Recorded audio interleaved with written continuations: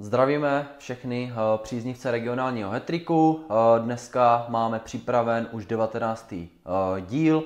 Pojďme se do toho rovnou pustit, máme toho opravdu hodně a pojďme si teda první rozebrat ligovou scénu, kdy už se hrála nastabová část, kdy Slovácko přivítalo pražskou Spartu, která bojuje o titul a Zlín zajížděl do Pardubic, kde bohužel podlehl eh, výsledkem 2-0. Pojďme se podívat eh, teď na to Slovácko s tou eh, Spartou a na bránky, které jsme si vybrali eh, do videa. Vybrali jsme si vlastně eh, první branku eh, Sparty, která byla ve 12. minutě. Necháme vám vlastně i celý ten kontext, kontext před tím gólem, z čeho to vlastně eh, přímo padlo. Bylo to autové vhazování na polovině vlastně Sparty, které zahrával eh, nebo zahrával Holzer. Bohužel, tady si to dobře kým pustil, tady ale ztráta, kdy nastřelil Spartana a krásná přihrávka Šajtlou Birmančeviče a ještě hezčí zakončení uh, Kuchty. To byla opravdu smrtící breaková situace, kterou Sparta vyřešit prostě umí. Takový tým, jako je Sparta, vyřešit to umí. Tak, uh, dv- gól na uh, 1-2. Tady byl dobrý pressing uh, ze strany uh, Slovácka, uh, kdy Havlík posunul míč na Kohuta, Kohut na Holcera a Holcer krásně našel uh, osamoceného Kima, který to jenom tak posunul ten balón. A Slovácko šlo vlastně už pouze jednobrankovým mankem do kabin, ale bohužel potom opět řekl bych, že velmi hrubá chyba, kdy Sparta zase vysunula svůj pressing. Daníček dal takovou hodně Těžká. nepříjemnou, hodně nepříjemnou uh, nahrávku. Bohužel, uh, tady to mělo letět z první ven. Uh, Hoffman si to zpracovával a Sparta mu to ukradla a bohužel Haraslín nekompromisně zakončil na 3-1. No, už se zdálo, že bude po zápase a nebylo, protože Slovácko zahrávalo o, pokutový kop, dalo na 2-3, ještě to zdramatizovalo tohle utkání, ale už na nějaký enormní tlak v závěru utkání se do Slovácko nedostalo, nebo do žádného enormního tlaku se Slovácko nedostalo. Co na to říkáš, na ten, na ten zápas? Tak jak, jak jsme si tady pouštěli tyto situace, tak, tak prostě tam je vidět, že když tam je vidět, jak jsme tady o tom bavili, ten rozdíl mezi těmi týmy, že když ta Sparta nějakou už tu šanci má, tak ji prostě promění a díky tomu se v tom zápase uklidní. Třeba ta první branka prostě tam byla, tam prostě ti hráči, kteří zostavili s tím kuchtou, tak nepočítali, že by se k němu ten balon vůbec mohl dostat. Mm, dostal se k němu, nemě, neměli ho dostoupeného, nestáli prostě u něho, byli, byli, byli od něho daleko a hmm. On krásně, krásně vlastně přehodil, přehodil Frištáka. A potom, potom jako Slovácko ještě za toho stavu, jak to bylo 2-1, jak si říkám, tyjo, to bude ještě vyrovnané, ještě jako jsem věřil Slovácku, že ten zápas dojde, i po té penaltě jsem věřil, že ten zápas dojde do remízy, že to Slovácko dá, ale bohužel prostě Zas tam taková, taková těžká přihrávka od Daníčka na Hoffmana, jako mohl to asi z první odpálit, ale i aby to odpálil z první, tak to měl těžké, spíš potom Havlík ten balón prostě měl Uhrát nějak. No, prostě nekompromisně ho nějak napálit klidně do autu nebo někde, prostě to přerušit, ale on si ho chtěl, chtěl si ho stáhnout pro sebe, bohužel se mu to nepovedlo a, a tam už Frišták s tím nemohl nic dělat, jako to, to už Haraslín, to nejde chytat jako z velkého vápna, když to takto utáhne k tyči, to, to nejde chytat, jako to, hmm. to neměl nárok a i po té penaltě, no tam měli, jak, řík, jak jsme se tady bavili, prostě Slovácko tam mělo nějaké náznaky, bohužel to ned, nedohráli do toho, do té, do té golové radosti a potom, potom Sparta udeřila vlastně po čtvrté a Hmm, z penalty. pak už No, tam byl klíčový, klíčové ty, uh, i ty momenty za stavu 2-3 pro Spartu, kdy Slovácko tam, jak říkal, mělo náznaky šanci, byla tam obrovská šance Mihálika, kdy sám vy, vyplín, vyp, vyp, vyplaval uh, na 16. Ale tady se, jak, jak říkal, prokázala, prokázal ten rozdíl mezi tou Spartou a tím Slováckem a tím nastavením, jak se tomu týmu daří, kdy kdyby takový balon dostal spartanský hráč, tak ti říkám, že to uklidí do branky s klidem a zatímco Mihálik prostě tu branku přestřelil, to stejné potom i střela Daníčka taky letěla do tribun, jo, takže tady jde vidět ten obrovský rozdíl v té kvalitě toho zakončení mezi těma to mm. dvěma týmy. Ale co jsem chtěl ještě zmínit, tak Sparta vždycky, když prohrávala pouze o gól, eh, teda vyhrávala pouze o gól, tak vždycky byla taková nervózní, jo? že Slovácko vždycky, když eh, mělo dotahovat pouze o tu jednu branku, tak Sparta nehrála úplně sebevědomě. Fakt to Slovácko bylo lepší, i na tom míči bych řekl, a Sparta byla taková znervózněná, ale vždycky, jak odskočili o ten jeden gól a bylo to o dva, tak byli na koni právě Spartané a, a pak nakonec to teda dotahli do, do konce, do vítězství a udrželi si tak čtyřbodový náskok před Sláví a, a můžou jít s úplným klidem do, do derby. Mm-hmm. Jo, jo, jak říkáš, takže... Mm, ale tak Spartě se nikdy na Slovácku nehrálo jako jednoduše, Slovácko vždycky se Spartou doma dokázalo ať remizovat, je třeba překvapit a porazit hmm. je a na Slovácku jako nevyhrávali nějakým obrovským rozdílem třídy, tak. jak někde jinde, ale je to tím, že to tady je prostě specifické, Pos... bych řekl asi. A... Řekl bych, že poslední čtyři roky, co je Slovácko pod Svědíkem, kdy jako začalo šlapat, nebo možná i pět už let, tak se nikomu sem nejezdí dobře. Hmm. Ani Slávy, ani Plzni. Plzeň tu taky schytala tenkrát 4-0, i Slávy jsme tady dokázali kolikrát porazit, takže tady je to fakt nepříjemné a řekl bych, že to byl klíčový zápas pro Spartu, protože hmm. ti říkali, že pokud zvládnou utkání v Hradišti, které je podle mě nejvíc náročné, tak uh, oni ho zvládli a myslím si, že ten titul už nepustí a dokáží to dohrát až do úplného konce. Hmm že, že v tom derby si to pohlídají třeba na remízu, budou hrát z bloku a budou vyrážet do tady těchto smrtících mm. breaků, které předvedli právě proti Slovácku, které mají neskutečné a oni na to mají prostě typologické hráče, jo. Haraslín a Birmančevič, to jsou vyloženě breakoví hráči, de facto i Kuchta, mm. jo, takže když to mají hráče, kteří to dokáží tomu Kuchtovi nahrát a ten už má potom nekompromisní zakončení. Mm. Jo, kdo by to takhle dvakrát eh, jako Kuchta v lize zakončil. Jo, myslím si, že by to hmm. nebylo moc hráčů. No moc hráčů, ne. Moc hráčů by to určitě uh, nebylo. Tak eh, to bude asi k tomuto zápasu všechno. Uh, druhé utkání bylo teda mezi Pardubicemi a Zlínem, kdy Zlín podlehl 2-0 mm, tomu zápasu. Asi kdyby Zlín hrál do půlnoci, tak si myslím, že by góla nedal, protože uh, když už ten balon letěl vlastně do sítě, tak, tak, eh, tak, to, tak, to, vždycky, tak to vždycky nějakým způsobem zachránil golman Kínský. I, i vlastně uh, Icha, když to letělo už, když už Icha. překonali brankaře, ano, vlastně. Uh, brankaře Ikugar, Kínského, ano, ano. ano, i Kugar to tam střílel. Tak, tak Icha to vykopl z brankové čáry. Střelec vítězné, střelec vítězné branky to dokázal vykopnout ještě, jo, takže jo, já si myslím, že Zlín tam klidně bod mohl brát, ale jak říkám, prostě neproměnil ty, ty jejich šance, které měli.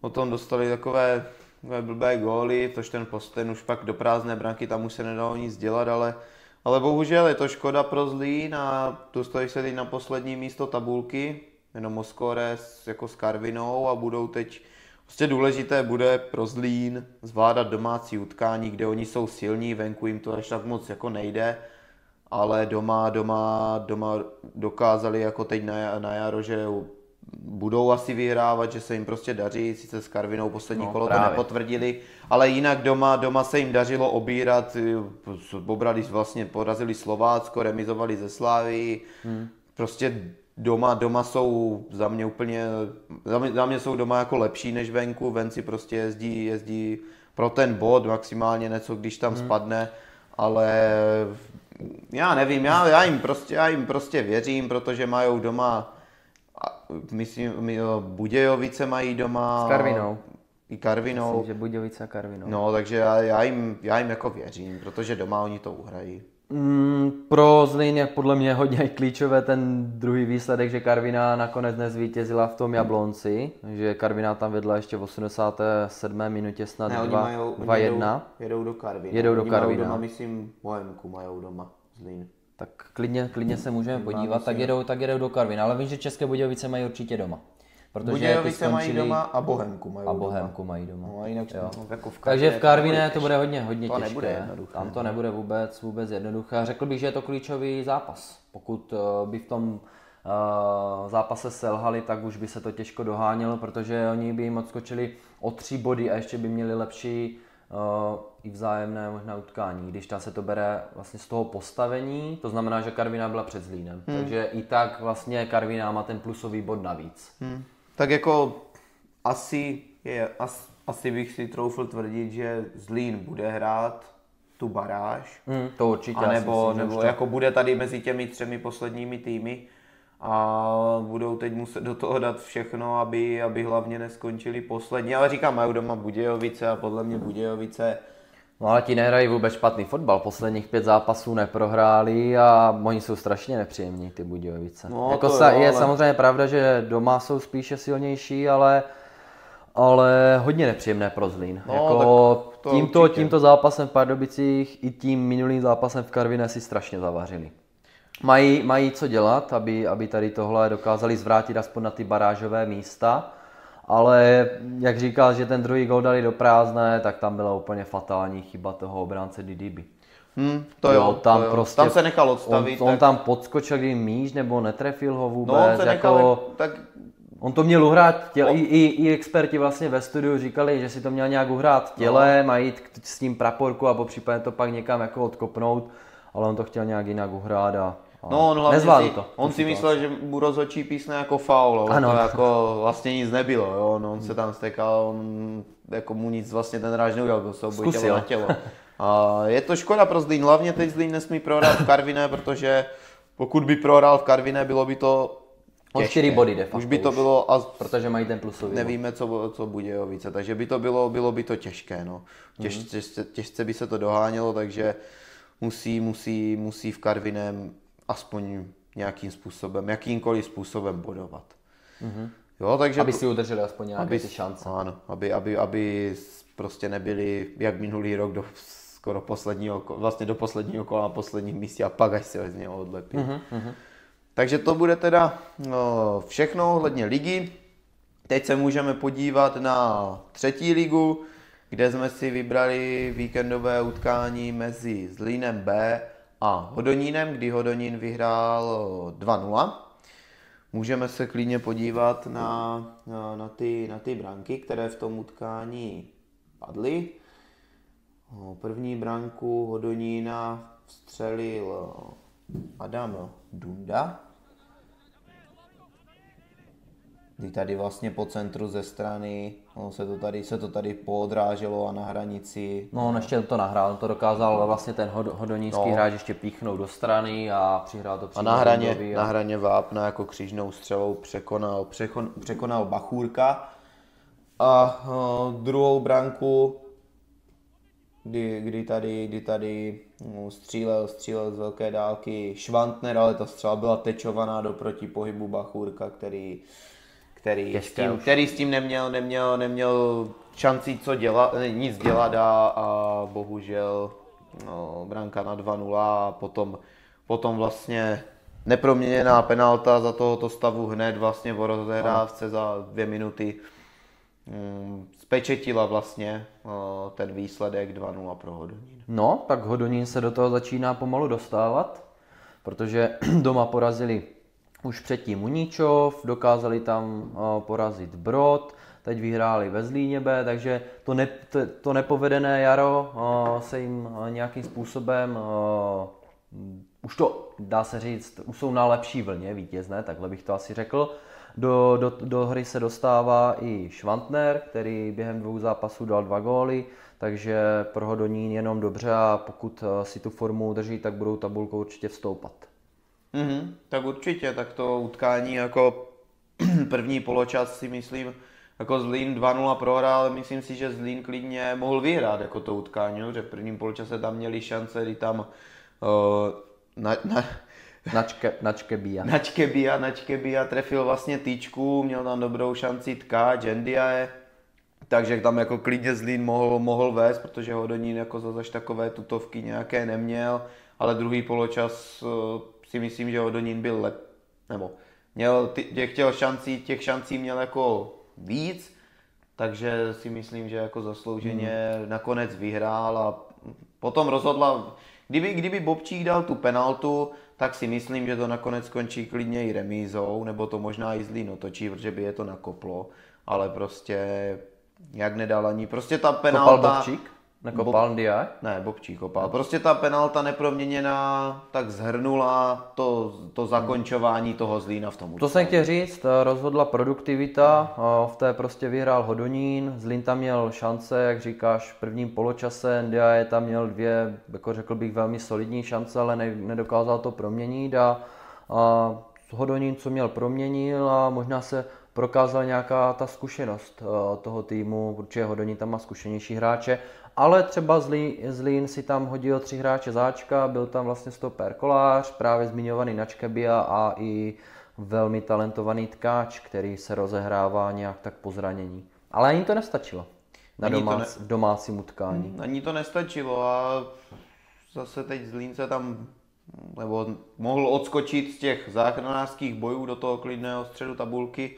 Nestalo se to, ale co já bych řekl, tak Švantner vlastně říkal, už druhá branka vlastně za Hodonín a myslím si, že to je velice důležitý hráč pro ně a že jim to pomohlo, že se, že se vrátil do toho, do toho mužstva, hmm. protože tím, jak má on ty, nebo má jako zkušenosti, že jo, hrál, nebo byl v mládeži Českých Budějovic a hmm. no, prostě prošel si něčím, je na něm vidět ten, ten klid v té hře, má i dobrou střelu, hraje střed zálohy, je prostě dobrý, běhavý, je prostě dobrý a za mě je to, za mě je to výborný hráč, který teď do toho do Nína se zase vrátil a i díky tomu o, ty výsledky jsou, jsou lepší. Zrůstající, mají zrůstající, zrůstající tendenci, ten. tak bych to řekl. I, I ta herní pohoda, a, i ve výsledku ty výsledky ano.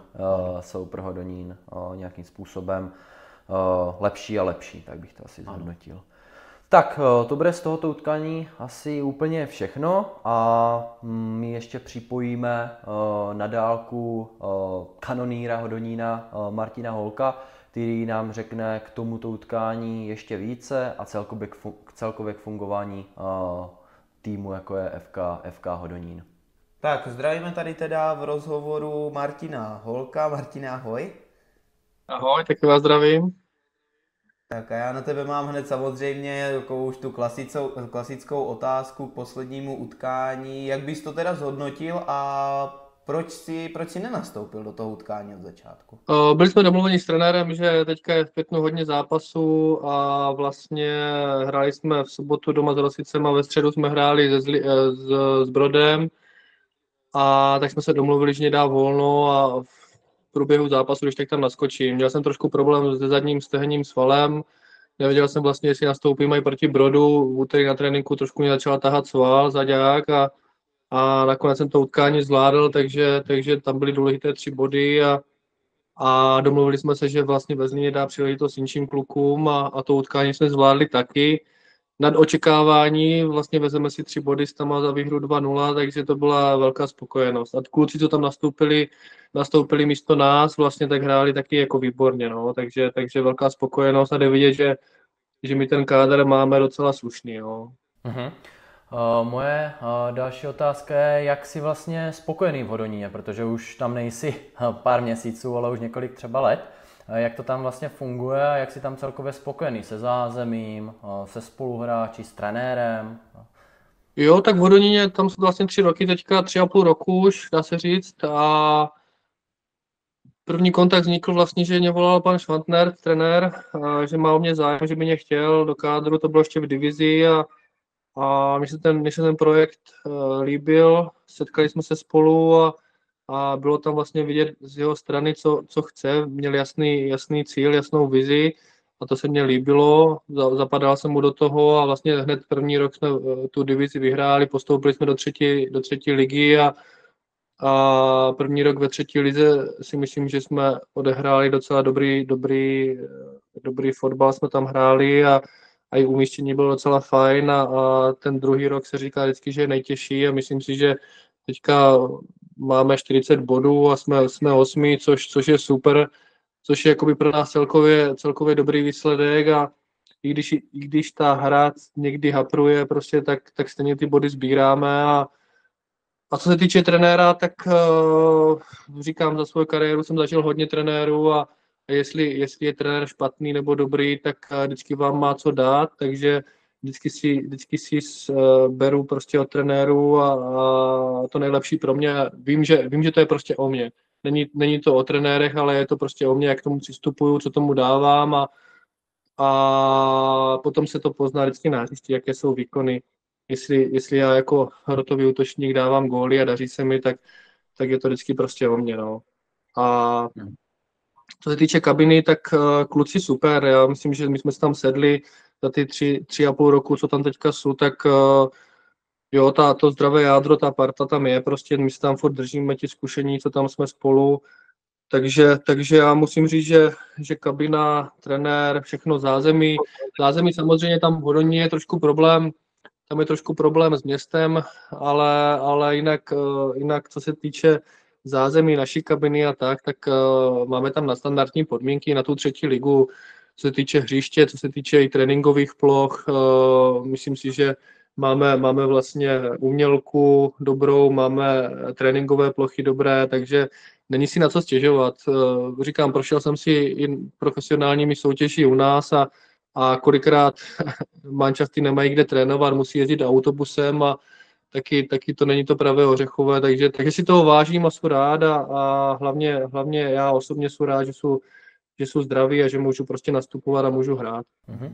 No a mě právě zajímala další otázka tady je právě k těm, protože ty jste kariéře si myslím, že měl i byl v dobrých jako manšaft, nebo tak spíš by mě zajímalo, kde teda to hodnotí, že to bylo třeba nejlepší, nebo, nebo z toho fotbalového hlediska třeba nejlepší, nebo kde ti to nejvíc šlo, nebo takhle, jestli bys mohl krátce nějak tu tvoji kariéru přiblížit. No je to vždycky těžké, těžké takto jakoby říct, uh, protože i to, i to špatné, jsem, s tím špatným jsem získal hodně zkušeností, co se týče i klubu, i trenéra a to dobré, prostě to, vždycky, když se daří, tak to jde samo, že? Třeba když můžu vzpomínat uh, na Ústí nad Labem, když jsme tam vyhráli druhou ligu, a ta druhá liga prostě teďka, teďka, co teďka je, tak dřív byla hodně silnější, byly tam, byly tam jména, byly tam prostě osobnosti, jo, ještě si pamatuju třeba za hlavu chytal Jarda Blažek a tam, tam prostě to byly úplně, hmm. úplně jinší zápasy, úplně jinší návštěvnosti, myslím a všechno, no, ale a poznal jsem spoustu, spoustu výborných spoluhráčů, spoustu výborných trenérů, lidí kolem fotbalu, jako dalo mi to hodně, ale, ale musím říct třeba i, i když jsem byl ve Slovácku, tak tam třeba trenér na mě moc nesázel, spíš, jsem chodil za Bčko, za juniorku, a když to vemu zpětně, tak uh, zase toho půl roku, co jsme byli, co jsme hrávali třeba za Bčko v neděli a v pondělí za juniorku, my jsme odehráli strašně moc zápasů a, a byla vynikající parta, vynikající atmosféra, trenéři, všechno, na to, na to vždycky teďka rádi vzpomínáme, když si s klukama voláme nebo když jsme v kontaktu, tak to byl taky úžasný prostě půl rok, dá se říct, co, co jsem končil ve Slovácku a odcházel jsem do Německa.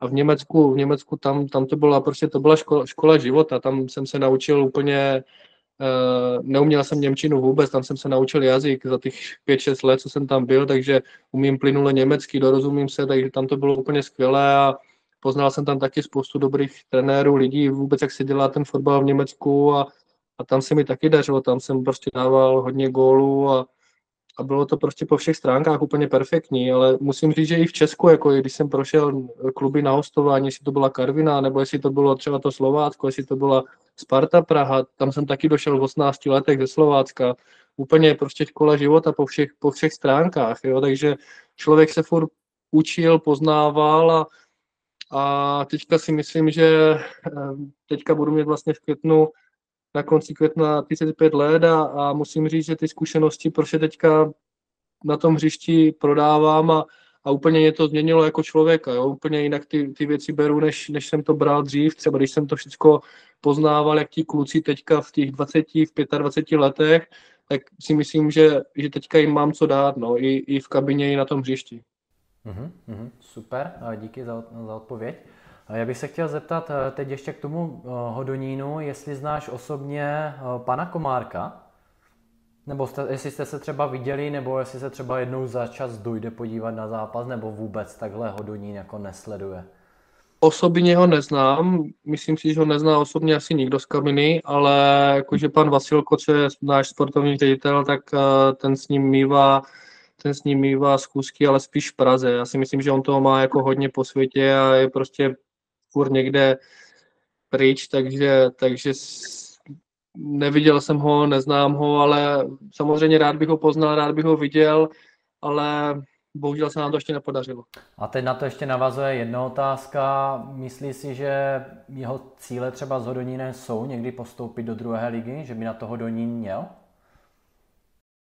No já si myslím, že určitě, že když se nám podařilo i postoupit vlastně z té divize do třetí ligy a když, když eh, nás sleduje v té třetí lize, tak, tak nám přijde to nejlepší úspěch a samozřejmě, když, když se nám daří, tak je, tak je rád, že? Ale, ale říkám, v tom Hodoníně je prostě největší problém eh, s městem, no, že oni, hmm.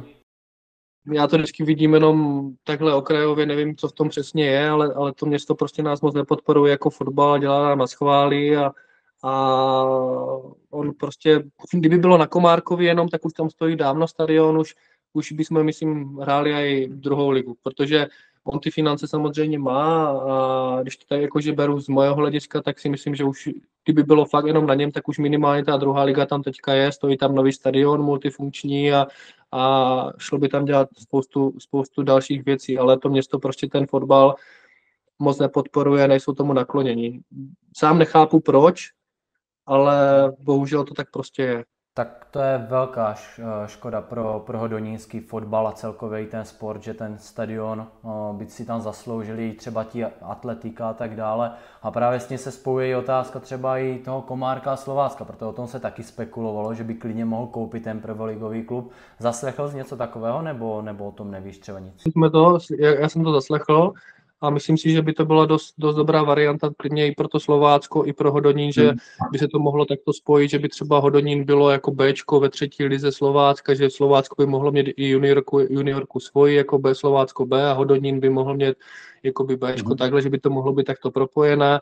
Určitě by to dávalo jako smysl a myslím si, že Komárek, kdyby našli společnou řeč prostě s ředitelem ve Slovácku, jestli s panem Pojezdným nebo s panem Zemkem, tak si myslím, že by to byla hodně dobrá varianta, protože on, pojďme si říct na rovinu, on ty peníze prostě má. Mm-hmm. Jo, já s tím souhlasím, protože mohlo by to být dobrá, dobrá spolupráce, kdyby třeba Hodonín hrál druhou ligu, Slovácko první, No třeba to Bčko Slovácka furt třetí, že by tam byla dobrá kooperace, že by se tam posílali hráči do toho Donína a myslím si, že i mládež v tom Hodoníně není na špatné úrovni a že by se tak dalo nějak s těma hráčama i míchat.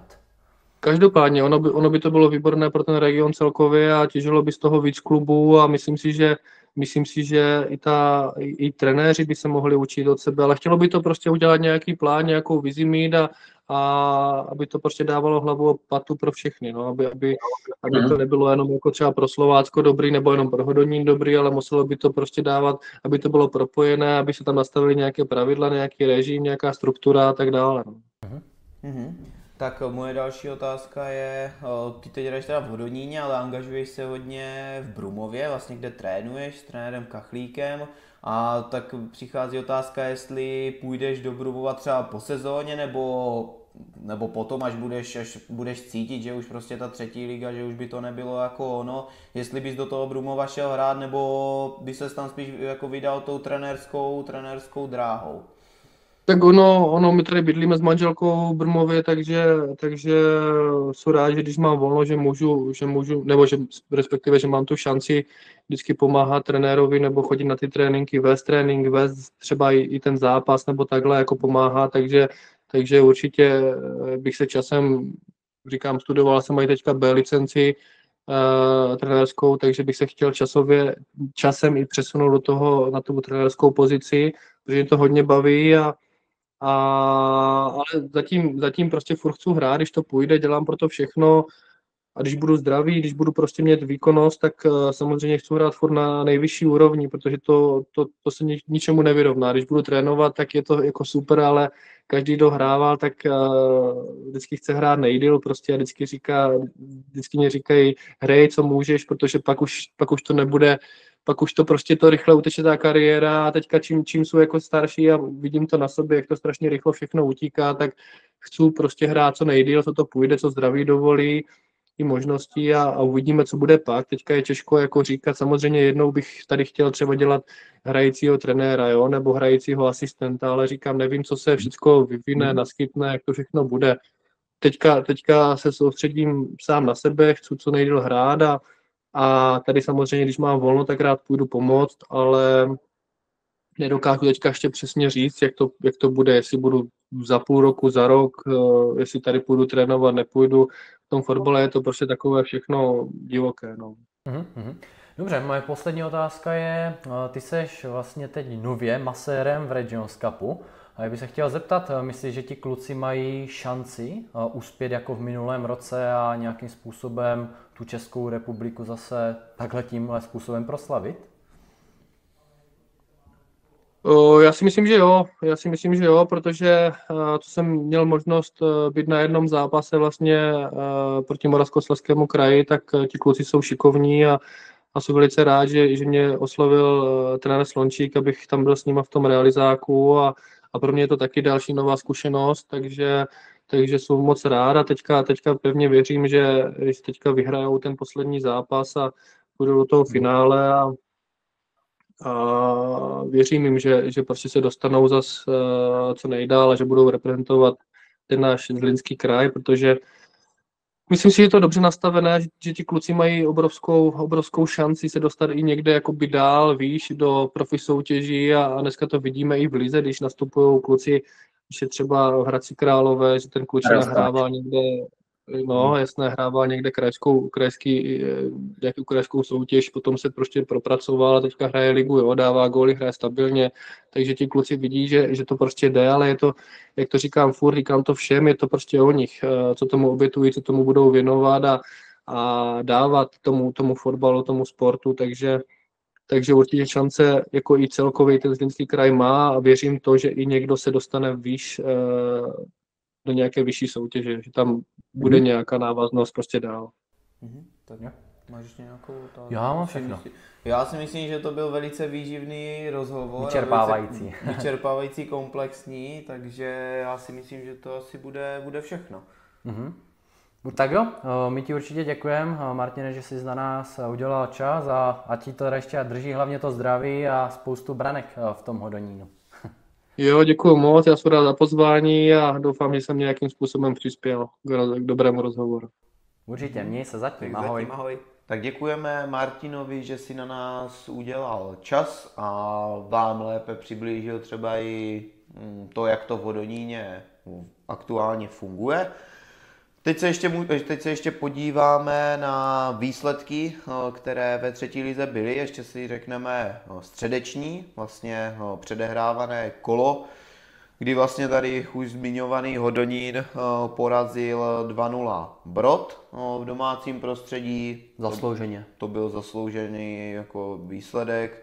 Sice i ta hra o toho Hodonína nebyla nic moc, ale Brod bylo takové ospalé utkání, bych no. řekl, ale prostě dali bránku na začátku utkání a pak už si to mně přijde, že s nějakým klidem dokázali hmm. uhrát. Že Brod tam měl nějaké náznaky šancí, ale nějak úplně extra nevzdoroval. No za mě největší, ale Brod si fakt nevytvořil jako skoro nic, za mě největší šanci tam měl Votava, letos neskončilo snad ani to skončilo jako jenom plckou, to nebylo hmm. jako nic ani pořádně zakončené, ale jako Vodonín prostě bylo dvě branky lepší a výhra. Prostě Brod tam ne, nepředvedl zase tak dobrý výkon. Jako aby, hranicí. Aby, aby, mohl, aby mohl pomýšlet, pomýšlet na body. Potom eh, vlastně Slovácko B porazilo doma eh, Hranice 2-0 eh, a tím se odlepilo vlastně z těch přímých sestupových příček. Ten výkon taky nebyl jako žádná, žádná sláva, ale ale prostě hranice tím i, že tam byli hráči záčka, tak přetlačili a, hmm. a pro ně důležitý výsledek, no, protože se dostali vlastně z těch podní, spodních pár. Tak to utkání bylo těžké, protože hranice, když to řeknu, s prominutím zaparkovali autobus, nic jiného nezbývalo, protože je stála proti ním obrovská kvalita, která se žene za, za tou záchranou, první poločas 0-0, Slovácko si tam ani nevytvořilo nějaké extra velké šance v tom prvním poločase, ale v tom druhém poločase to dokázali urvat tou zkušeností a, a tou kvalitou asi, tak bych to zhodnotil.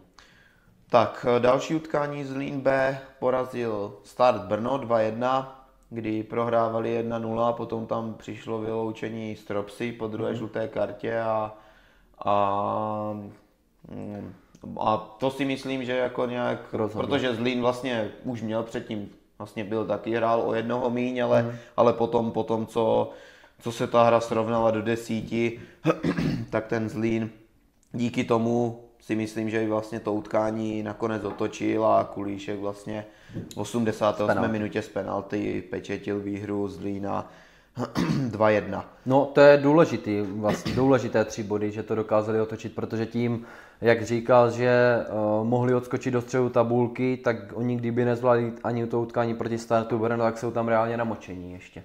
Ale tady tyto tři body si myslím, že, že už je do, do, dohnali, nebo dostali vysoko tak, že, že už o tu záchranu se nebudou prát. Tak a poslední, co se hrálo, tak Hlučín uh, remizoval 3-3 se Zlínskem. To utkání uh, v prvním poločase bylo asi lepší Zlínsko, zaslouženě, zaslouženě vedlo 1-0. Uh, potom, potom tam přišli potom tam přišli úplně, nebo ne vlastně, pak to bylo, pak to bylo vlastně 3-1 poloč- vyhrávalo. byl 1-1 No, ano. a v druhém poločase hm, mně přišlo, jak kdyby přestali hrát. Branka na 3-1 mi přišla úplně na třetí ligu, úplně, úplně fatální jako selhání obrany. Hmm. Ale nakonec o, vlastně o, Krakovčík v 93. minutě nastavení nakonec ještě srovnával. Klidně, 3-3. klidně mm, vám eh, dáme do prostřihu eh, to, co jsem načerpal eh, na platformě Twitteru neboli X, eh, co se v tom utkání mělo odehrát. Eh, Pouze čerpám z platformy X, takže eh, nevíme, eh, zdali je vůbec tady tohle pravda či, či nikoliv. Mhm. Nechci nikoho nařknout, ale jenom čerpám prostě z platformy co, jsem, co, jsem, co se ke mně dostalo, nebo co nám vlastně eh, lidi naposílali. Tak, no, to bylo teda všechno k tomu předehrávanému kolu a teď se podíváme ještě na ty víkend, na z tohoto víkendu eh, výsledky. Blansko Brod 2-2. Um, za mě eh, pro, pro Brod je to naprosto výborný bod, protože Blansko bylo nebo vytvořilo si víc gólových šancí, kdyby v, de, kdyby v 86. minutě hráč Blanska který měl před sebou bra, eh, prázdnou bránu a nad bra, eh, brankou tak jakoby probíhal, probíhal Lo, eh, Lorenz, který chtěl, aby ho trefila, ono zrovna trefila, ten míč se odrazil úplně do zámezí, kdyby dal na 3-1, tak by bylo po zápase. Ale tím, že to nedali, tak, eh, tak potom ještě právě zmiňovaný Lorenz, úplně, úplně osamocený. Hrdina úplně, utkání. úplně, úplně osamocený o, v pokutovém území si to zpracoval a vystřelil na zadní tyčku, ale i kdyby tam nebyl on, tak za ním byl ještě, teď nevím, jestli to byl Votava, ale někdo byl ještě za ním, takže ten by si to zpracoval, ten byl úplně sám a taky by asi překonal golmana, ale mm. pro Brod je to jako výborný bod, protože na to, že i Blansko mělo tak protočenou sestavu, protože ten, no, ten ten, ten program byl neúprostný a bylo to náročné, tak na to, že fakt jako ti, co, co většinou za to Ačko tak. hrávají, tak seděli a odpočívali, tak, tak i tak, tak i přesto vlastně to Blánsko mělo tolik, tolik gólových příležitostí, kdy Golman Somberg výborně zachytal a, a podržel Brod a říkám, rozhodlo to, že, že v té 86. minutě ten hráč Blanska napálil Lorence a ten míč skončil vedle, protože kdyby to dali to 3-1 a bylo by po utkání. A už by to Brod jako, už by to Brod nesrovnal. Mhm. Jo, takže, takže, takže dobrý bod eh, pro Brod v konečném, v konečném zúčtování. Další utkání Hranice Baník eh, 0-1, mm, docela jako chu- chudý výsledek na to, že se potkal první vlastně ze skoro jako týmem, který je tam namočený v boji o záchranu, ale 1-0 stačí to, Baník má tři body a no, Asi stačí si, jde za, asi si jde za tím postupem, pomaličku, ale jistě. Ten Tak baník, určitě. myslím si, že by chtěli mít ten Bčkový tým ve druhé lize. Tak to že už to je- je jejich cíl. tak to už je asi, asi hotové. Tam už Nevím tím, že, přesně- tím, že Znojmo teď, teď prohrálo ve Nevím, jaké Zlínsku. jsou tam úplně přesné ty bodové uh, rozdíly. Tím, že ale- Znojmo teď prohrálo ve Zlínsku, tak, eh, tak si myslím, že... eh, Tak Karviná B teď vyhrála, ale předtím tam měli zavání vlastně se Slováckem i v, uh, v Uničově. No, ale to už je, Jo, to už osm je, bodů, moc, osm bodů. to už je moc. To už, to už je hodně. No. To je moc, už, to, už, to, už asi, to už si pohlídají. Jako. Hmm, tak uh, Znojmo nic, ale Zlínsko ještě se tam může dotlačit. Ale, ale ty ambice u Zlínska už jsme rozebírali tenkrát, když uh, se nacházeli na té první, druhém místě. Asi postoupit nejsou, protože tam není to právě zmiňované zázemí. Hmm. Nevím, jestli by dostali licenci hrát na tom stadionu druhou ligu. To si myslím, že No, snad, to ani, určitě ne. to si myslím, že snad ani nejde. Tak eh, teď teda Zlínsko už zmiňované porazilo Znojmo 2-1. V poločase prohrávali, nakonec se vybičovali k výborné otočce a, a velice silného soupeře obrali o všechny tři, tři body. No a Slovácko B remizovalo s Uníčovem doma eh, 0-0. To si myslím, že je výborný výsledek na to, že tam nebyl nikdo záčka, nebylo to posílené.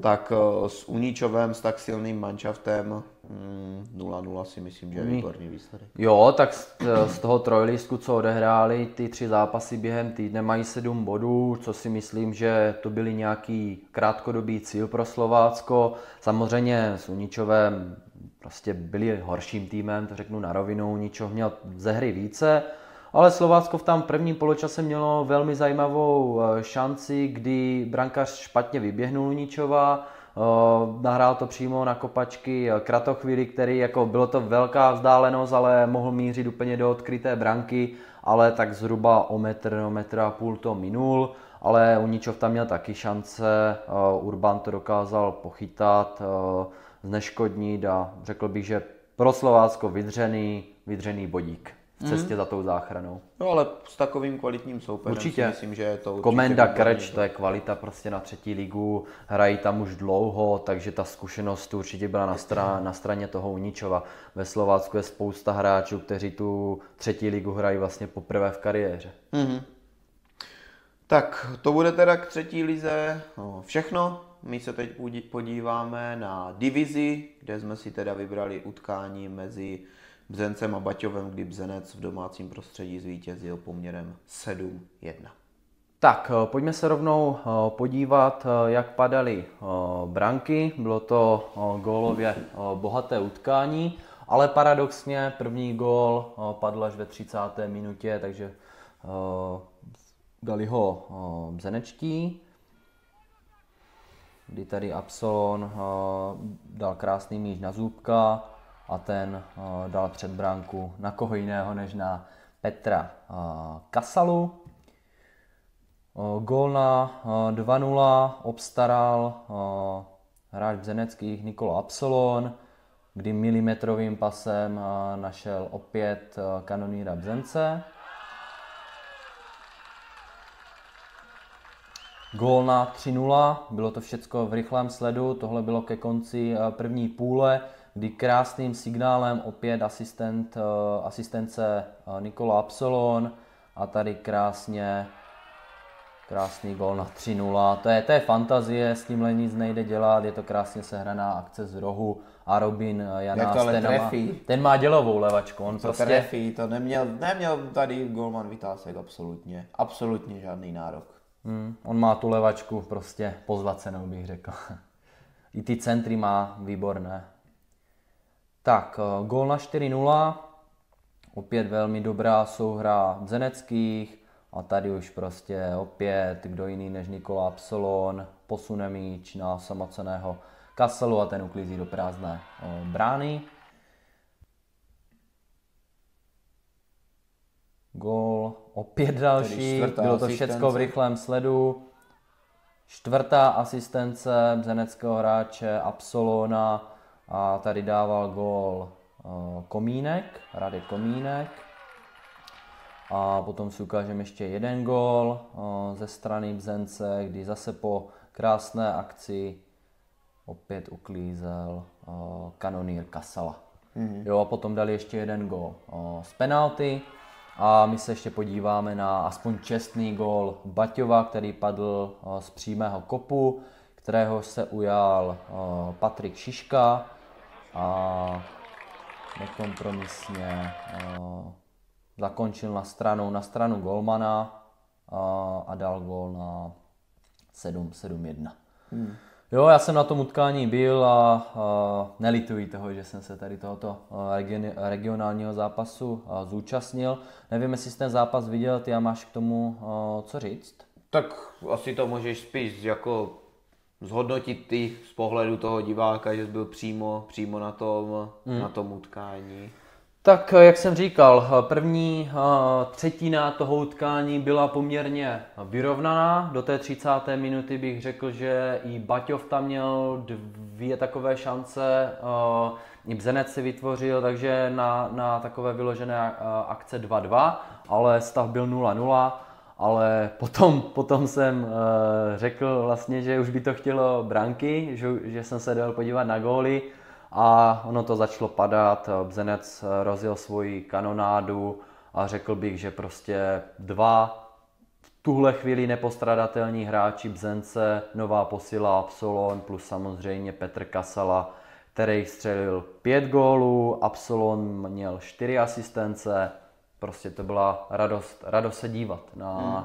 na, tady, ten, na, ta, na tady tohle představení uh, domácích. Baťov to měl strašně těžké potom, jo, dostali, dostali tvrdé direkty, během 3-4 minut prohrávali 2-0 na venkovní půdě, ještě k tomu mají zraněné hráče, v prvním poločase se jim zranil uh, Sotolář, který dává góly v předchozích utkáních, takže Eh, velká ztráta pro Baťov a museli to dostřídat, šli tam dva hráči ročníku 2007, takže hrají to s, s tím, co mají, jaké jsou jejich vlastně možnosti a, a ty jejich eh, šance na tu záchranu zase o něco klesly, ale furt to mají vlastně ve svých, hmm. ve svých rukou. No tak jak říkal, oni dostali vlastně dva, dva, těž, dva tvrdé direkty v podobě toho, že dostali eh, vlastně tři, vlastně v druhém poločase dostali taky ty tři rychlé bránky. Ano, to bylo do, během ty, do 60. minuty. No, během vlastně 8 minut dostali tři bránky a to je, to je úplně pro tu psychiku, to je úplně hrozné. V tom prvním poločase vlastně bylo to hned 1-0, hned 2, hned 3 a pak už jako za stavu 3-0 venku. Hm, kor s tím, jak bohužel to Baťo vlátá tu sestavu, tak, tak tam nemohli na nic pomýšlet, ale aspoň čestná, ta čestná branka z toho přímáku, ta byla pěkná, šiška se jako z docela velké dálky. Hmm, to byla hezká ta byla, ta byla pěkně utažená k týči.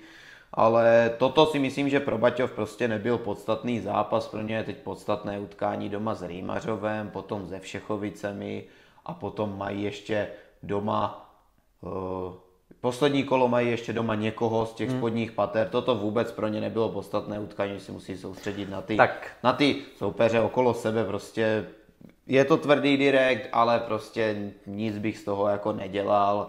Prostě jede se dál, toto vůbec jako nebylo pro ně hmm. podstatné utkání a teď musí doma s Rýmařovem uspět. No, jak, jak říkám, ten Baťov, nebo jak říkal jsi, že to láta ve druhém poločase uh, šel Votava z hrotu útoku na pravého beka, takže prostě oni to všechno tak nějak dali dohromady, prostě aby možná ještě nedostali víc gólů ale ani to vlastně nestačilo. A prostě Bzenec je doma geniální, dokázal, už to zmiňujeme po několikáté, prohráli tam pouze jednou na podzim se, eh, s Kozlovicemi. A teď ve středu bude souboj o, čtvrt, ne, o třetí místo eh, se Vsetínem, takže na to utkání se těším a zřejmě z největší pravděpodobností se tam pojedu eh, podívat, teda to video už vyjde a výsledek už bude znám. Mm-hmm. Jo, takže, takže co bych já tomu řekl, tak dva nepo, nepostradatelní hráči pro Bzenec, kterým je kanonýr Kasala a nová posila vlastně Absolon v tomto utkání.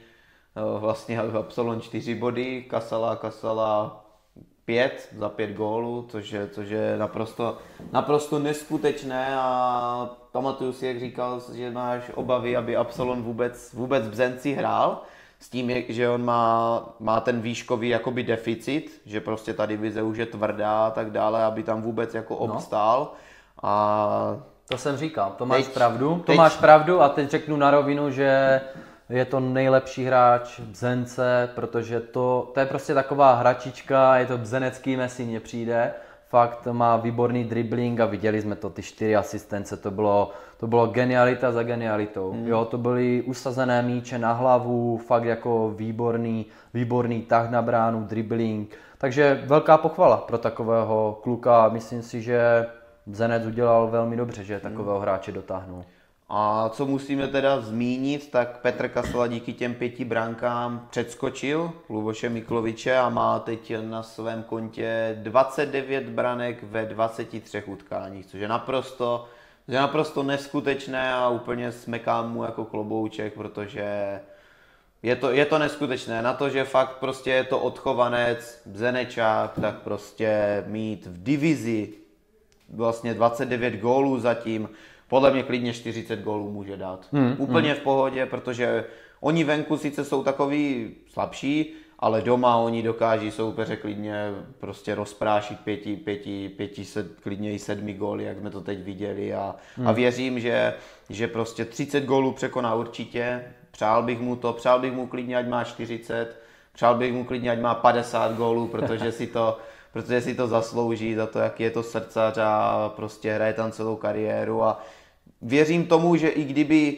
tento rok nebylo strání v divizi, tak reálně Bzenec bojuje o prvenství. No. To snad bude i, i jako, teď už to asi nikdo nedá, protože strání už si to pohlídá, už má ten náskok luxusní a má ještě zápas k dobru, ale pokud by tam strání nebylo tento rok, tak věřím, že Bzenec reálně bojuje o první místo v té divizi. Hmm. Luboš nezahálil, ten střelil dva góly, takže ten rozdíl je pouze uh, dvougólový, takže i on může vlastně ještě pomýšlet na tu korunu uh, střelců, ale je dobré, že jsou tam takový dva kanonýři, jsou z našeho regionu, takže oběma přejeme hodně štěstí, ať vám to kluci padá a hlavně ať ty týmy dotáhnete na co nejvyšší pozice. Jo? Jak si myslíš, že může skončit takový zápas mezi Bzencem a Vsetínem? Protože Vsetín se do toho taky teď dostává, porazil vlastně 5-0 5-0 Slavičín. Takže... Vlastně ve Štenberku 5-1 venku. No.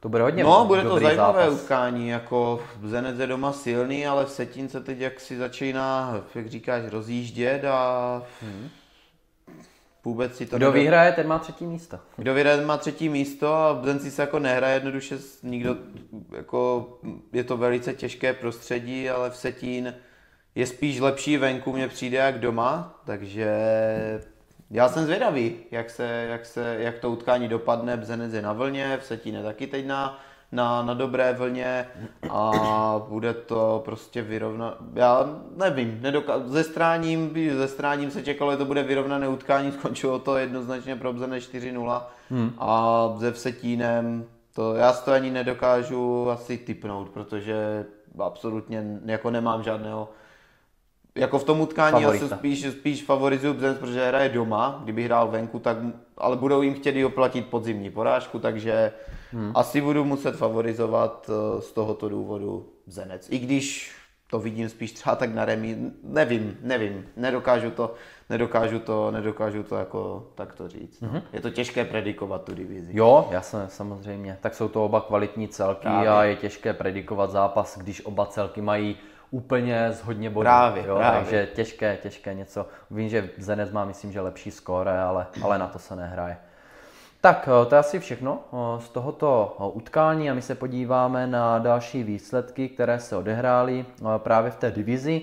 Máme tady v Setín, to už jsme zmínili, porazili Slavičín 5-0. Zase chválili jsme Slavičín a zase to dopadlo tak, že Slavičín snad ze třech zápasů má tři porážky. Jo? No, Zenec, Rýma, Zenec, Rýmařov a teď na Vsetíně 5-0. Teď 5-0 na Vsetíně, no. no. takže, takže není, není to dobré. Mají, na, mají nahrané, ale...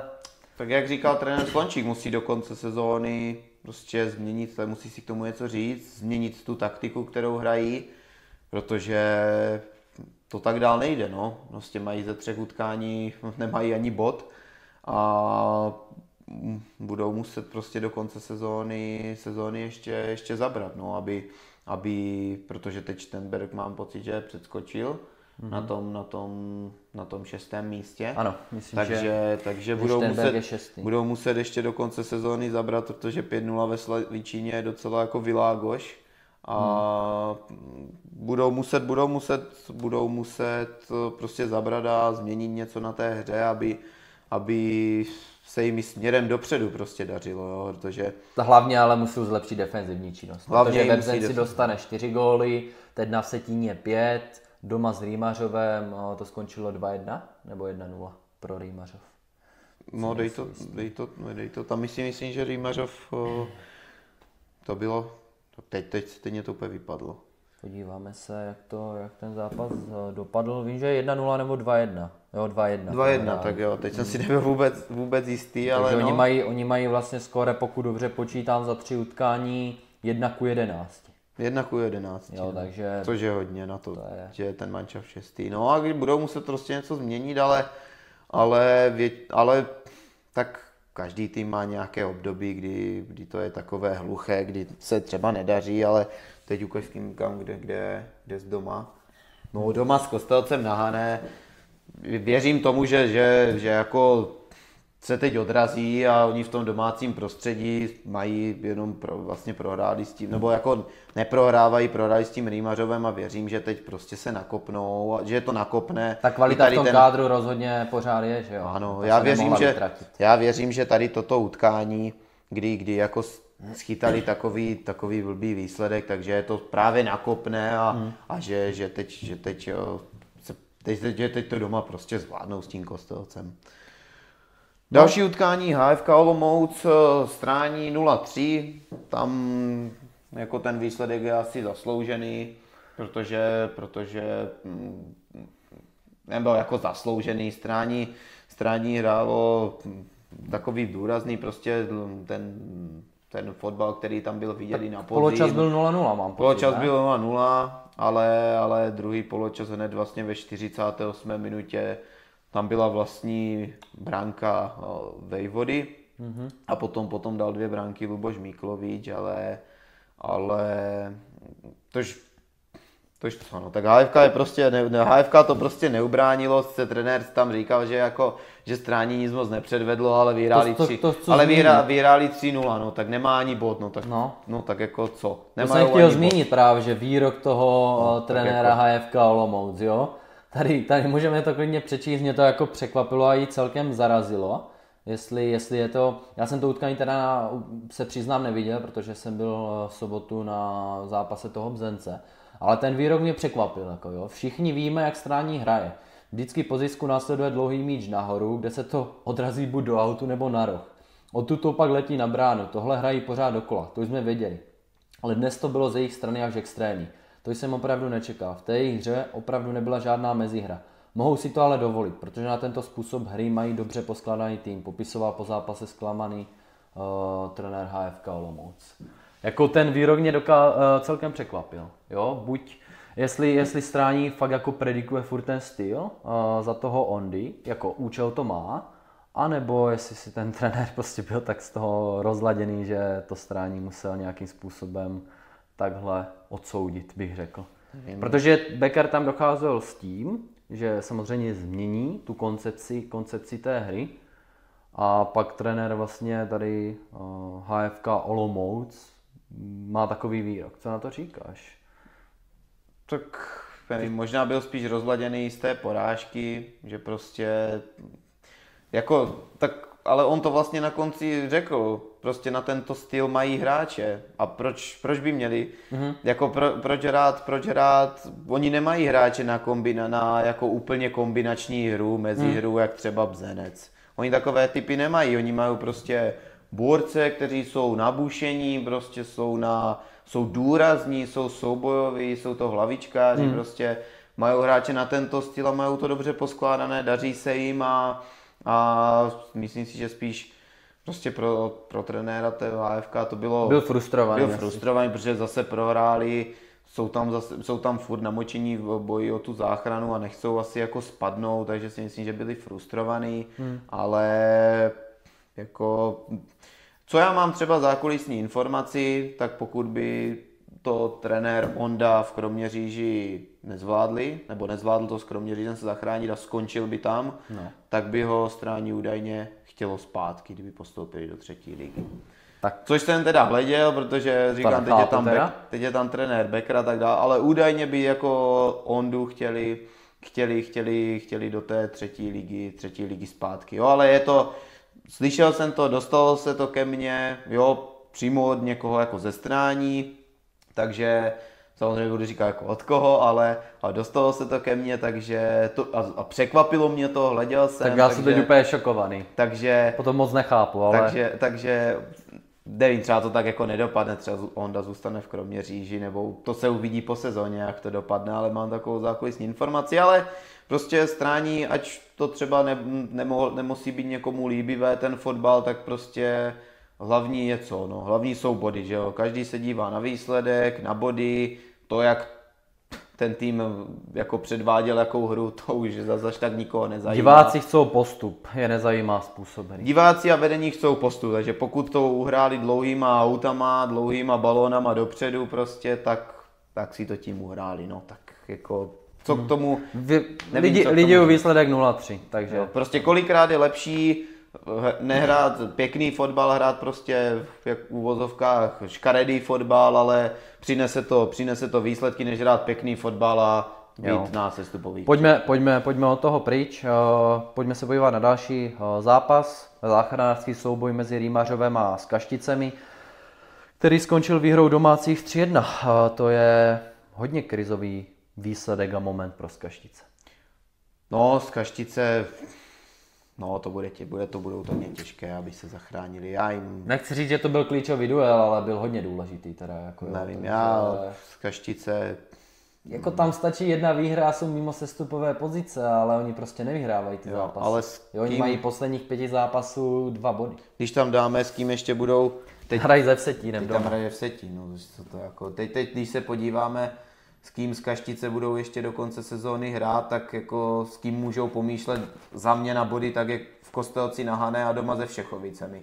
V Holešově, to nevím, pojede tam strání a jedou do Štenberku. Kde můžou podle mě ještě získat body, jsou v Kostelci a ze Všechovicemi. Jinak asi... Tak tady ty zápasy ke konci, tam už, jako tady může tam už třeba dojít, moc nepůjde, protože tady může, bude třeba rozhodlé v divizi. Tady může říct. dojít k nějakému podcenění jo, nějakého toho soupeře, ale oni mají ten most tak blbý, že Hmm. Ty poslední, že poslední utkání jedou do Štenberku hmm. a aby, aby Štenberg něco vypouštěl doma, to se moc nevidí, že? No, aby jasné. pouštěli něco, nebo aby vypouštěli zápas proti venkovnímu týmu doma, chceš vždycky i to poslední kolo jako slušně odehrát a hmm. no z Kaštice prostě tímto výsledkem si zavařili a asi budou kandidát, a jsou velkým kandidátem prostě na ten sestup, protože hmm. na jaro mají snad jenom jednu výhru z prvního kola proti Přerovu, od té doby nevyhráli, sbírají tak, mají to jak na houpačce, remíza, prohra, remíza, prohra, hmm. prostě venku snad venku snad ještě na jaro, oni snad uhráli jenom jeden bod venku. Ano, to jsme se dívali, myslím, v nových sadech minulý. A to je prostě strašně málo a hmm. bohužel, bohužel jsou jsou jedním z velkým kandidátem na sestup. A, jsou ohrožení, no. A kor, jestli teď zase nevyhrajou a ty Všechovice a Baťov, Baťov jim odskočí. Nebo... Už to musíš mít i v hlavě, jo, jakože už nevyhrál strašně dlouho a hraješ a bojuješ o tu záchranu, potřebuješ ty body a nemáš, no. No, jako ta tabulka je prostě... Je ta, furt vyrovnaná. Ta tabulka je vyrovnaná, ale už prostě tady ty, prostě tady ty, už tady mají před sebou jenom Baťov, obot, a HFK o dva. Nový Jíčín už je o tři body a to už... To Nový už... Jíčín hlavně ten má takovou fazónu, dokázal teď obrat do body Kozlovice, hmm. ten jede úplně jinde, ten se zachrání s přehledem. I ty Všechovice, Rýmařov, ten už je o čtyři body, to už, je, to už vlastně ani když vyhrou, tak je nedoskočí. No, no tady, to... tady tyto celky dokázali teď vyhrát, Kostelec, Rýmařov, no. Všechovice a dokázali odskočit směrem nahoru, no, takže pro něco ne tři body pro všechny. Je to prostě, je to prostě blbé a Baťov teď Baťov, jak jsme říkali, teď bude hrát už se zmiňovaným ano. Rýmařovem doma a toto utkání musí Baťov zvládnout, buď za bod, za tři, no, ideálně tři, za tři. Doma, aby... doma musíš prostě za tři, jináč, jináč to bude pak už složité. No. No. Ideálně za tři body, aby se tam vrátili a z každý se to budou mít opravdu, opravdu, opravdu moc složité. Jo. Tak další zápas, Čechovice Přerov, tam to bylo jednoznačně vítězství domácích 5-0, k tomu asi není co víc říct. Přerov ty venkovní utkání přijde, že jenom tak odehrává, odezdává, spíše bodují na té domácí půdě. No a Holešov, tady se zrodilo za mě překvapení, doma prohrál se Štenberkem 2-3. Hmm, tak Štenberg ale zase není takový, jako, nejsou to zase nějak, jako, není, to je, vůbec, to kvalitní, je to kvalitní, je to kvalitní mužstvo. Ze začátku se nějak rozjížděli pomalu, ale... Mě to překvapilo jenom skrz to, že Holešov doma neprohrál. Doma, no. Jo, kdyby no. hráli venku, tak neřeknu, ale... No, teď Holešovu už se to... No, čtyři, bod, čtyři zápasy a mají pouze dva, dva body. No, už se jim to, už se jim to tak jako rozdí, ale tak zase mají prohru se Stráním. Hmm. Teď se Štenberkem doma, no. Jedu do Přerova, no. Teď. Tak tam asi vyhrají. Teď jako s tím Štenberkem doma, Štenberg spíš doma, mm, jako venku jsou takový, no neřekne, nechtěl bych říct poloviční, ale, ale, ale doma jsou za mě lepší jak venku, ale bohužel Olešov to nezvládl, a, hmm. ale věřím, že teď v Přerově, Přerově zvítězí a, a, a vlastně, nebo jakoby zase, zase se dostanou na nějakou tu vítěznou, vítěznou, vítěznou plnu. Mm-hmm. Jo, ten, ten Olešov. Protože mančav na to mají. Tak eh, to bude teda eh, k tomu, nebo k celkově divizi eh, úplně všechno.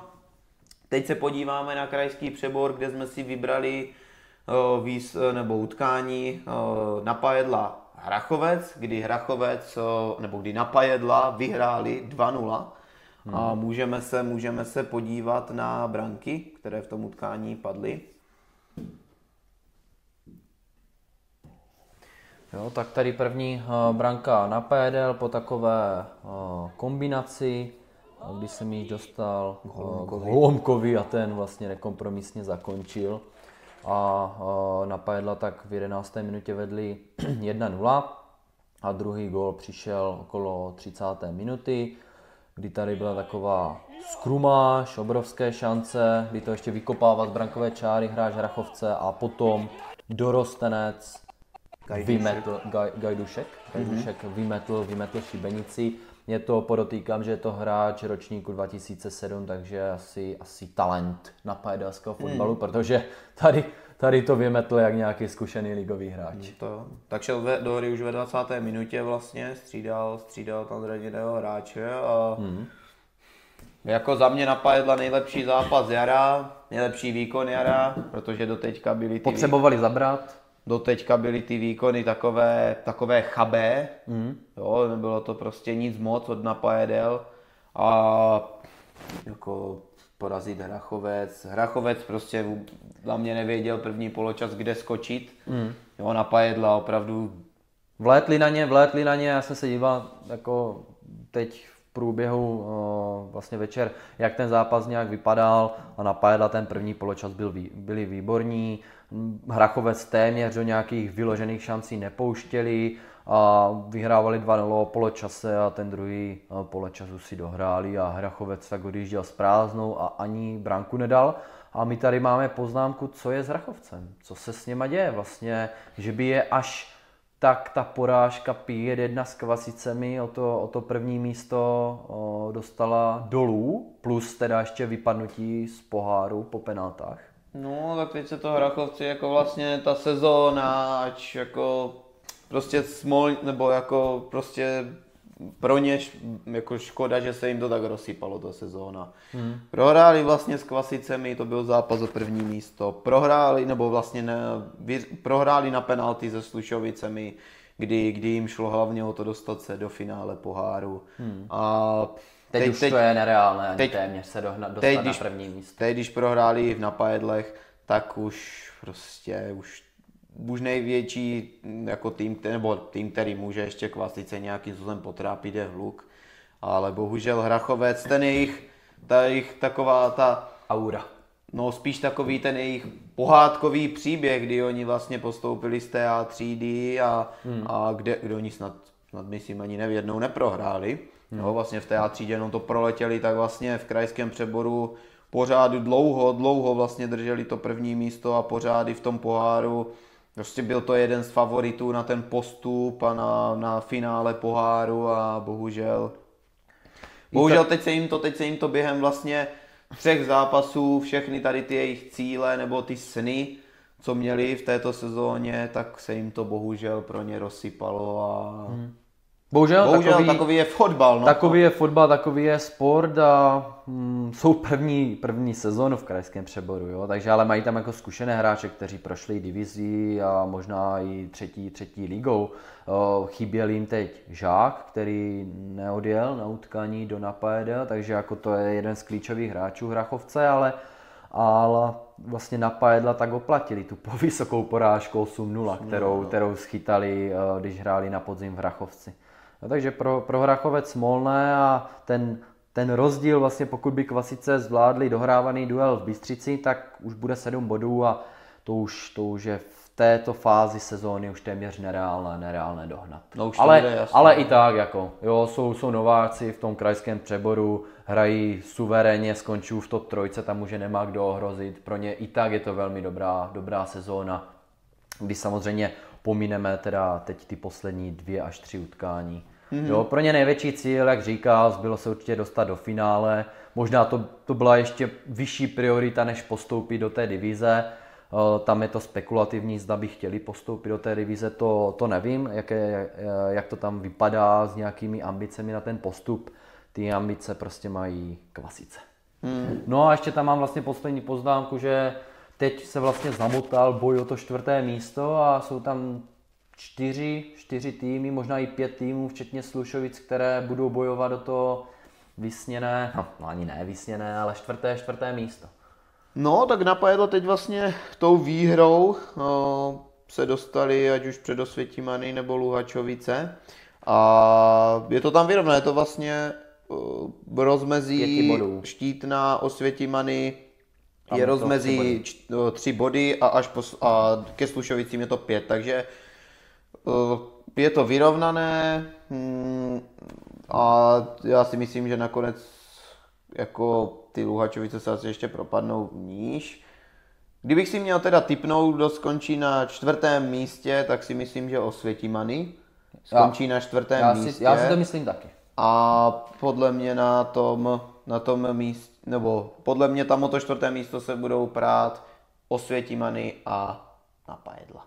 Hmm. Jo, ať na pajedla nemají ty výsledky, tak oni stejně prostě furt po tom bodíčku si to sbírajou, prostě i když hrajou venku, ten výkon je prostě nepřesvědčivý, toto, tak oni prostě neprohrajou, oni to, když už tak prostě tak to dotáhnou do té remízy, takže mají aspoň ten bod, takže prostě, takže, ne, takže prostě aspoň nějakým způsobem něco z toho zápasu vždycky oni vydolují a Teď jo, hrají tak, v Brumově, který nemá formu, ale, ale... Tak mají tu prohru jako s vámi, ale, ven, ale jinak, jinak prostě oni, ač té Bystříci to byl nepřesvědčivý kon, tak stejně remizovali, v Nevšové nepřesvědčivý kon remizovali, dokázali porazit vlastně Francovku, taky jakože... I Kvasice vlastně Kvasice tam, Kvasice tam, s Kvasicama remizovali, teď porazili Hrachové. Oni hlavně v tom domácím prostředí, ty napajedla, nevím, čím to ani vlastně je, že doma prostě oni i s těma favoritama dokážou hrát eh, na remízu, klidně porazit, jak to teď vlastně vlastně obrali, kvasit, jak říkal, z Kvasice, Hrachovec o všechny body, mm. takže, takže jako oni doma, doma na pajedla jsou jako slušné, jo. Venku, Venku to, ale jak jsme to říkali už na podzim, prostě venku jim to, venku jim to bohužel. Ale to je u všech týmů. Když se podíváš, tak prostě venku ty utkání, no, my vlastně jsme teprve vyhráli druhou, druhé, druhý zápas teprve v sezóně na venkovní půdě, takže takže většině týmů se hraje vždycky dobře na domácí půdě a hraješ na svém a, a na, navíc tam je to cestování, jo, hmm. takže, takže tak, tak to prostě je v tom fotbale, doma se vždycky hraje lepší. Jo. Takže to bude asi k tomu krajskému přeboru všechno. Teď se podíváme na první A třídu, kde jsme si vybrali utkání Starého města Bojkovic, kdy Staré město, nebo kdy Bojkovice vyhráli poměru 4-1. Utkání v prvním poločase už to jako Bojkovice vlastně rozhodli. To utkání byli, byli lepším týmem v tom prvním poločase. Staré město přehráli a za mě potom vlastně Starák snižoval až poslední v 90. minutě. Druhý poločas už Bojkovice nějak ubrali z toho tempa, tím dostali Starák více do hry, Starák měl víc šancí, ale uh, Bojkovice za mě jako zaslouženě, zaslouženě vyhráli. Mě to celkem překvapilo, protože řekl bych, že ty týmy um, jsou kvalitou hodně vyrovnané. Navíc staré město na tom Širuchu hraje velmi, velmi solidně, a, ale mám pocit, že jim vypadlo strašně moc hráčů, že ani pes, Peška nenastoupil, Peška nebyl, no. jo, že, že jim tam chybí, že tam mají nějaké jako výpadky v té sestavě a, a nedokázali to. Řekl bych, že tady hrál zkušený kádr proti mladému, který má ano. velkou budoucnost a ten zkušenější to v tomhle utkání dokázal zvládnout. Jo, protože Bojkovice tam mají většinu jako fakt zkušených bombardáků, kteří už hráli třetí ligu, ať už za Uherský Brod a tak dále. Takže tady vyhrála zkušenost, bych řekl. Mm-hmm. Jo, určitě tady vyhrála zkušenost a pro Bojkovice výborná výhra, venkovní. Oni, oni když se sejdou fakt v té plné palbě, tak, tak, je, to, tak je to fakt tak je to fakt, tak je to fakt síla. Hmm, potvrdili to i ve starém městě a Jo, oni jsou, jako jsou dobří na to, že tam jsou fakt odchovanci nebo jako místní hráči, tak prostě... Vždycky, vždycky si dokáží uhrát tu první polovinu tabulky okolo toho, okolo toho čtvrtého, pátého ano. místa, takže pro Bojkovice dobré. Na postup to v tuhle chvíli jako uh, není, ač by jako chtěli postupovat do, co jsem slyšel, do, krajsk, do krajského přeboru ale to, Tuto to, už jsme, to, prostě to už jsme vlastně zmiňovali, že pokud by chtěli uh, vlastně postoupit směrem výš, tak by potřebovali angažovat i nějaké hráče mimo, mimo ty Bojkovice, kteří no, nejsou vlastně odchovanci, ale potřebovali by tam dovést ještě třeba tři, tři kvalitní hráče, jo. úměrné tomu krajskému přeboru. Jo? Takže no, tady tak... vidíme, že, že jsou pátí a myslím, že, myslím si, že tím výsledkem, že porazili to staré město, si upevnili tu top pětku. Mm-hmm. Jo, a můžou se posunout klidně v té tabulce ještě víc, můžou klidně skončit na třetím místě. Jo, jo to bude je, to tam vyrovnané. Je vyrovnané ta tabulka, takže, takže, se, takže se uvidí, uvidí, jak jim to, jak jim to půjde, půjde dál, ale my jsme si vlastně ještě, nebo jestli k tomu máš ještě, máš tomu ještě něco? Asi ne, tomu to utkání, nevím, co by, co by mě napadlo. jo, prostě tam, pak už vlastně ke konci, tam vlastně staré město dohrávalo v deseti, kdy se vlastně zranil Brázdil a oni už ani nemohli střídat, takže hmm. prostě i pro staré město takové smolné utkání, ale Vojkovice předvedli jejich kvalitu a a, a no, to. Bojkovice ty utkání mají taky nahoru dolů, jo? Oni prohrají doma s Těšnovicemi 4-1, potom dokáží vyhrát ve starém městě. No právě, nemají to konzistentní. Nemají, tu konzi, nemají ty konzistentní a to, výsledky. A to chybí k tomu, aby ano. ten tým aby hráli o první pomýšlet na ten post. Přesně, právě. přesně tak. Tak eh, to bude všechno v první A třídě. Teď se podíváme na první B třídu, kde eh, jsme si vybrali utkání Uherského ostrohu se s Lechovem, kdy Ostroh zvítězil doma 3-2 a kdy vlastně to utkání se rozhodlo už eh, v prvních vlastně 15-20 minutách, kdy Ostroh vedl 3-0, mm. ale paradoxně potom po jejich chybách ještě do poločasu Zlechov, Zlechov snížil na, na 3-2 a ještě se zadělalo na drama, ale nakonec eh, v druhém poločase si to už Ostroh pohlídal a a nakonec to utkání dovedl do, do vítězného konce. No tak pro Ostroh řekl bych, že i taková snová sezóna, protože oni se vždycky pláceli v těch spodních patrech, hráli tak, dejme tomu tu záchranu a teď vlastně jsou v polovině tabulky tak 30, 33 bodů. Pokud zvládnou a na... dohrávku se Slavkovem, tak budou čtvrtí. No, to, o skóre. To je, to je pro ně úplně výborná sezóna. Jo, já si vždycky představuju, nebo pamatuju ten ostrov fakt uh, okolo toho 10. 11. místa a teď hrají fakt polovinu tabulky a jak říkal, pokud uh, oni tam ne, ma, jo, mají vlastně dohrávku, ze Slavkovem, tak to by měli, měli 36 bodů a už budou na zdounkách. Takže hmm. pro ně velmi dobré, ale, ale musí si dát pozor na takovéto polevení, jak to říkali trenér, že jasně rozhodnutý zápas 3-0, můžeme to v klidu dohrát a my si vlastně ještě do poločasu necháme dát dvě branky a to utkání tak úplně zbytečně zdramatizujeme. Hmm. Jo? Takže, takže nějaká asi lehčí nekoncentrovanost a, a Zlechov ten eh, venkovní duel nezvládl. Oni venku moc ty body nezbírají. Teď hráli ještě dohrávku v Ostrovské Nové si, tam to skončilo 0-0, no, takže no, jako nějaké asi strach o tu záchranu mít nebudou, nebo o ten sestup, ale, ale ta sezóna je taková taky Nic moc, no, Zlechova. Taková, je to láta i jsem tam, ty máš jednu novinku ze Zlechova, nevím, jestli ji chceš propálit. No, tak nebo já, co se ke mně dostalo, tak po sezóně by měl tam skončit trenér Matoušek, ať už z nějakých zdravotních důvodů, nebo hmm. z nějakých tak, nebo z, myslím, myslím, že ze zdravotních důvodů se ke mně dostalo. Uvidíme, jak že to. by, měl, že by měl skončit, takže vím, že oslovili právě trenéra Lukůvku z Nedakonic, hmm. takže jak to ten, ale si myslím, že to asi neve, asi jako stát se může cokoliv, ale myslím si, že to jako nevezme. Tak protože... Za nějaké dobré finanční hodnocení? Jedině, ale myslím si, Já si že myslím, asi... že, že ti trenéři v tom Zlachově netrénují zadarmo. To, to asi ne, ale myslím si, že z těch nedakových, myslím si, že asi ne, že to asi nevezne, ale to uvidíme, ale tak Zlechov bude asi po sezóně zánět nového trenéra, hmm. teď jsem zvědavý, kdo tam, kdo tam půjde a tak boj o záchranu, boj o záchranu je mezi třemi týmy. Jo, ten boj o záchranu je jasný, je mezi třemi týmy už od, od začátku, už od, od podzimu je mezi třemi týmy Traplice, Vlčnov, Prakšice a na konci sezóny se uvidí, kdo prostě, kdo si to, kdo si vytáhne toho černého Petra. Ty Malenovice teď z posledních výkonů se tam můžou klidně namočit. 18 bodů tak ještě není úplně nic rozhodnutého. To ne, ale Malenovice si myslím, že nějaký domácí zápas prostě zvládnou za tři body a, a hmm. odlepí se s tam, ale, ale tři týmy tam jsou jasné, namočené a, a, a ti to, ti to budou bojovat až do konce o záchranu. Ale co třeba bych řekl k tomu ostrohu, tak eh, jak je prostě, nebo ten efekt toho, že tam máš jednoho dobrého hráče vepředu, no, určitě.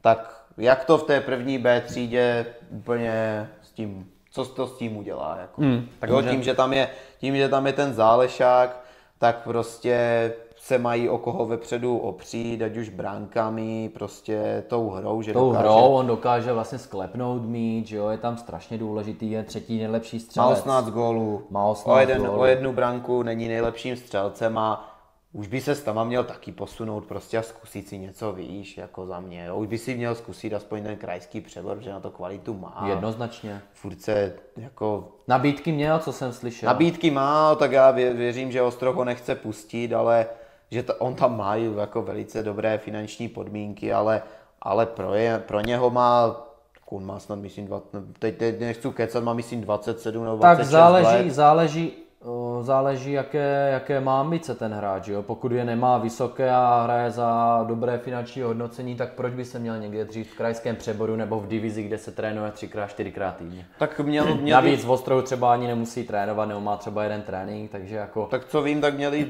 do Brodu na zkoušku. Ano, tenkrát ano.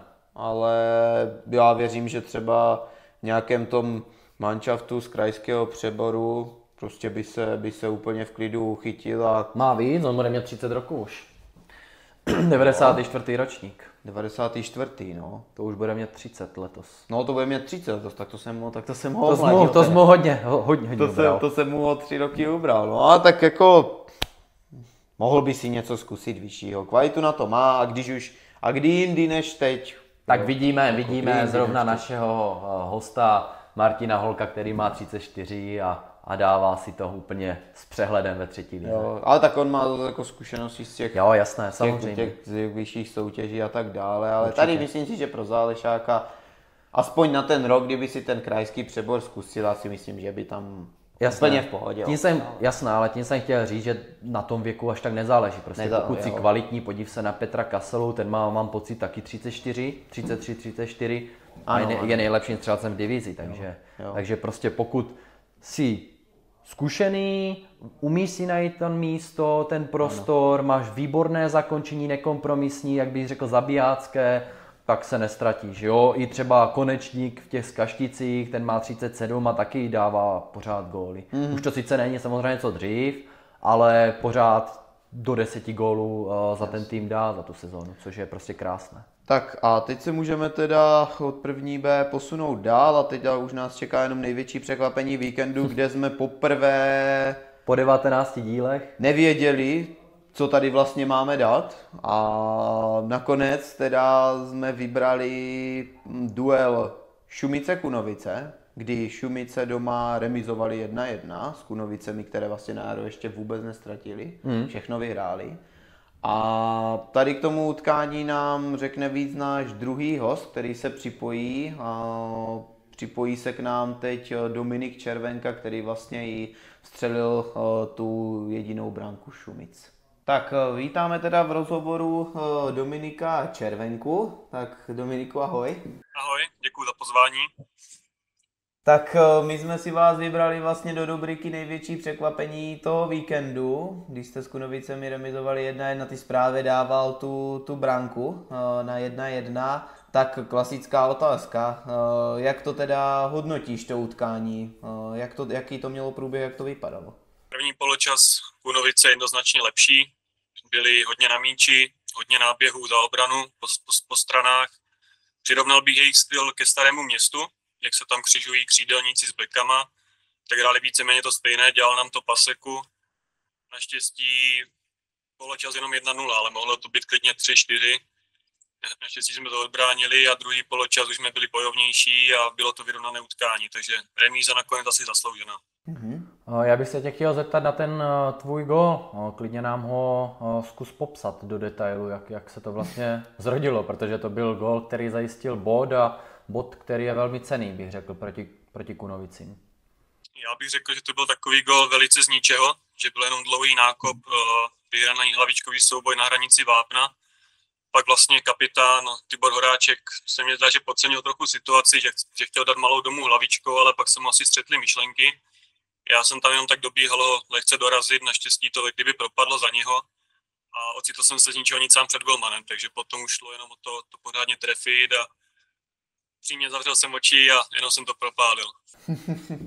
no, tak to má být kolikrát, no, je to jo, lepší, než, než přemýšlet nad tím a, a vymýšlet nějakou, nějakou situaci, pak to člověk se mu střetnou myšlenky a dopadne to špatně. Mm-hmm.